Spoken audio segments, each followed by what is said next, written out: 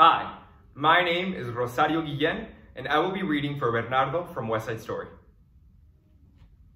She has a mother, also a father. They do not know this country any better than she does. You don't know it at all. Girls here are free to have fun.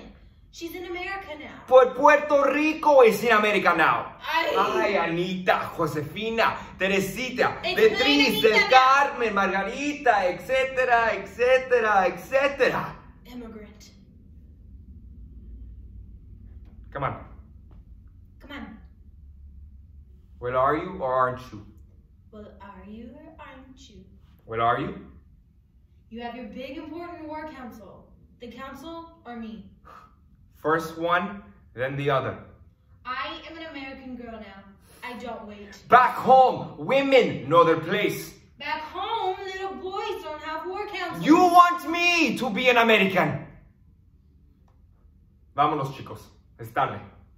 Buenas noches, Anita, Josefina, Del Carmen, etcétera, etcétera, etcétera.